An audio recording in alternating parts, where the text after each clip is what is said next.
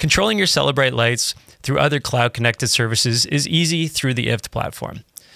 To do it, first navigate to ifttt.com front slash celebright, which will bring you to this page here. If you haven't already set up a, an integration, you're going to need to connect your Celebright account. To do that, connect by clicking the connect button, and that's going to bring you to a page here where you can enter your credentials. Um, this will be the same credentials you use to log in on the app. Once you've connected to your account, all you need to do is click the Create button.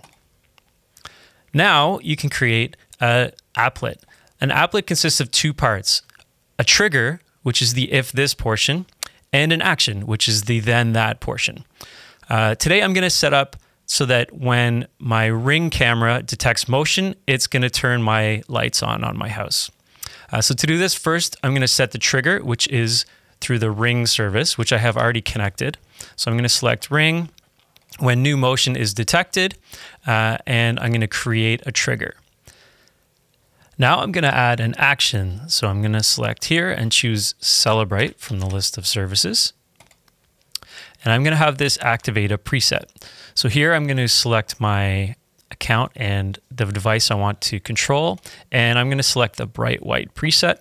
And here I also have the option to set a timer for how long I want it to run. So now I have it running for 10 minutes once my motion detector uh, detects motion, and then it'll go back to what it was doing before. So I'll go create action, continue, and then you can give it a name. It'll also usually generate a pretty good name on its own. So I'm just going to leave it as it is and hit finish.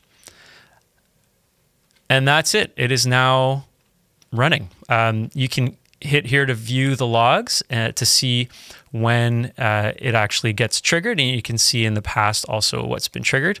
Uh, but that's it. There's nothing more to it. I now have a motion sensor triggering my lights uh, when it detects motion around my house, and they'll run bright white for 10 minutes every time motion is detected. Easy as pie.